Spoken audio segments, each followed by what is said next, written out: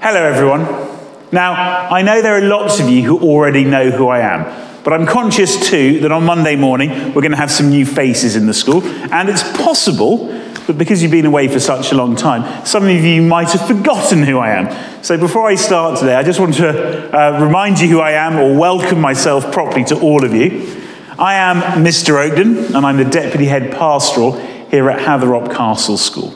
And I'm here today in our Performing Arts Centre because I want to talk to you about something that I feel is really, really important.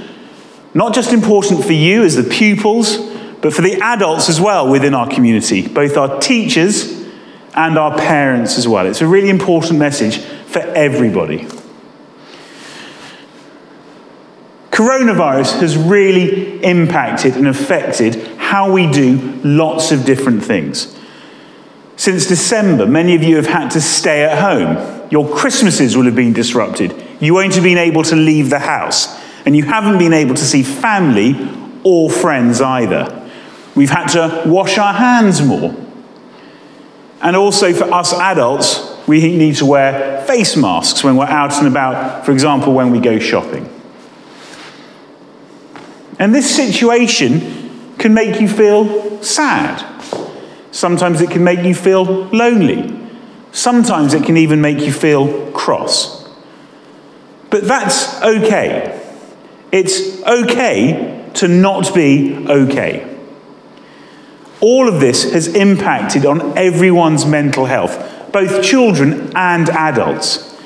You may even be anxious about coming back to school next week, and that's okay. Even I'm a little bit anxious about next week. I can't really remember my timetable, which I haven't followed properly since last December. There are lots of faces of people I haven't seen who I'm going to be welcoming back, and I'm going to be wondering how they look and how they're going to be.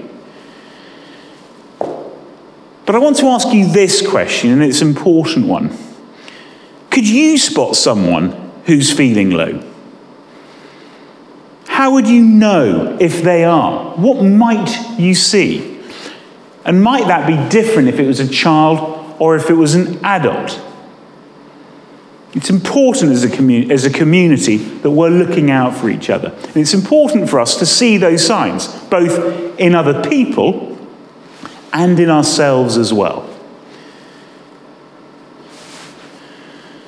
Our brains manage how we feel, and how we feel has an impact on our physical and our mental health.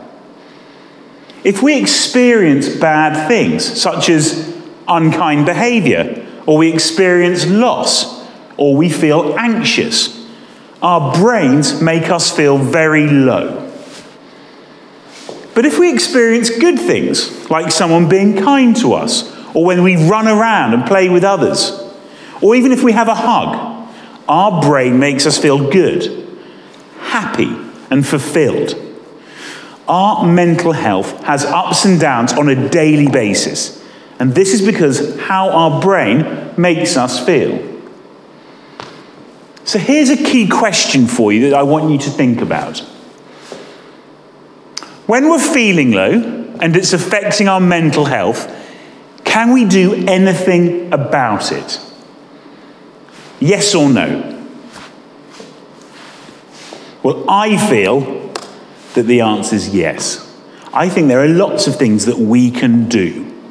For example, getting regular exercise, having time to play indoors or outdoors, being part of a team that appreciate each other, going to a school that looks after the well-being of its pupils, taking part in activities, feeling loved, valued, and safe, being able to learn and access opportunities to succeed accepting who you are and recognizing what you're good at, having a sense of belonging in your family or your school or your community, or even having the strength to cope when something is wrong, and having the resilience or the ability to solve problems and bounce back again. And that's why today I want to introduce you, the whole school, to the five ways to well being. The five ways to well-being can help us all move our mood and have a positive impact on our mental health. So, let's have a look at what the five ways to well being are. First of all, we've got connect. Talk and listen. Be there. Feel connected. Be active. Do what you can. Enjoy what you do. Move your mood. Take notice. Remember the simple things that give you joy. Keep learning. Embrace new experiences. See opportunities and surprise yourself. And finally, give. Give your time, your words, and your presence. So, five different things that we can focus on, each of which are going to help us with our mental well being.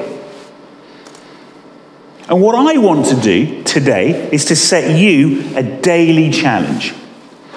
This is something that everyone in our school community can do, and it's something that we can do right from Monday. And it's something that we can do every day, not just in the first week, but in the second week back and the third week, all the way to the Easter holidays. And you can take this away and take this home and carry on through the Easter holidays. And we can carry on into the summer term as well. It's something for the whole community to really become part of. What I want to do is to split each of these key targets into the different days of the week Monday, Tuesday, Wednesday, Thursday, and Friday. And what I'm going to ask you to do is focus on that key challenge for that particular day. And each morning, with your tutors, you're going to be given a planning sheet. And on the Monday, you're going to see how you can focus on the key target of connect. You're going to write down an idea or a few ideas. It could be one, two, three, possibly even more ideas that you can do to hit that target to help boost your mental well being. Now, what I'm going to do is give to your tutors these slides, which have some ideas of the things that you can do. And each morning, your tutors are going to look at these slides and going to talk about some of the ideas that you can see on this board. But you might have your own ideas too. Your tutor might have them as well. And you can decide as a class if you're going to set that target, that one target as a class, or you're going to set different ones as, individual, as individuals because this is your challenge and you can do it the way that you want to do it. And I've just written some ideas on the board here of things that you can do on your Monday, which is your, the day we're going to connect. We're going to talk and listen, be, be there, and feel connected. Now, on the first Monday back, you might quite like to focus on the first or the second target. You're going to be seeing friends that you might not have seen for a long time. There may even be some new faces in your class, and it's possible that you may even have an opportunity to make a new friend. So there are lots and lots of ideas here. I quite like the Play the Smile challenge. If you want to set that as your target on Monday, have you ever noticed that when you smile at somebody, pretty much always, they'll always smile back at you. And when someone smiles at you, it makes you feel good. So not only will you boost somebody else's mental well being by giving them a smile, that'll boost yours as well by giving you one back. So challenge yourself. See how many people you can smile at throughout the day, and see how many people return that smile to you straight away.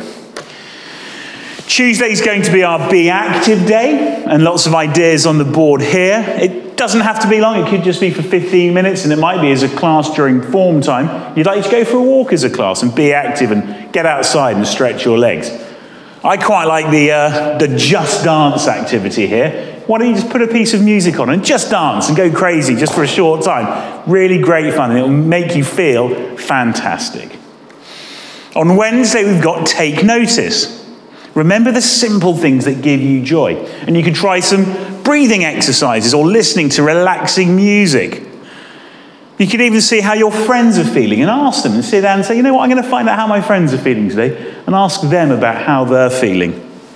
Or even just going for a listening walk, going for a walk out in the woods and just pausing and listening to the leaves making a rustling noise in the wind or hearing the birds sing. Something as simple as that.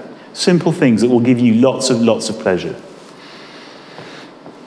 On Thursday, keep learning, embracing new experiences, seeing opportunities, and surprising yourself. Lots of ideas on this one. One of the things I love actually is the maths badges that we do here at Hatherop. I really think they push people outside their comfort zone. And even I've had a go at doing one of those maths badges. It's a real sense of accomplishment you get when you have a go at doing them. It's quite a challenge, but the sense of achievement that you get back when it's complete is just wonderful. And it would be wonderful if with Mr. Nish you could set yourself the challenge of getting some maths badges this term or in the summer term. Really fantastic. Just one of the ideas that you could do on a Thursday. And on Friday, give. Giving something back. Giving your time, giving your words, or your presence. Complimenting a friend. Helping somebody out. Lots of ideas that you can engage in here. But most importantly, we need to understand why we're doing this. Why is this important? It's important to understand that the five ways to well being should be practiced every day in small ways. And you probably do lots of this every day without even knowing that you are. Because by doing these things, your body makes lots of happy chemicals that flow through your body and naturally improves your well being. And you can see on the board behind me just some of the examples of the things that you can do and those happy chemicals that your body can produce that happen as a positive response to the things that you do. And all of these things combined are going to boost your mental well being and they're going to make you feel really positive and fantastic. It's a wonderful challenge, and I really hope that everyone in the school community can get, get behind it and become part of it. And I want to wish you good luck with it as well, because by boosting yours and your friends' well being, you're really going to make a positive difference in the entire community. And I think you're going to have a lot of fun doing it as well. So, the best of luck, get stuck in, start chatting with your friends and your tutor as well about the things that you can do and I hope you enjoy it. Good luck and goodbye.